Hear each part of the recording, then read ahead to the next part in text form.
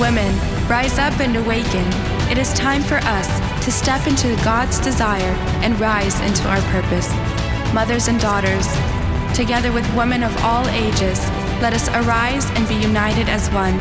Will you accept His invitation to bring the heavenly kingdom into every area of life He has planted you in, impacting all those around you?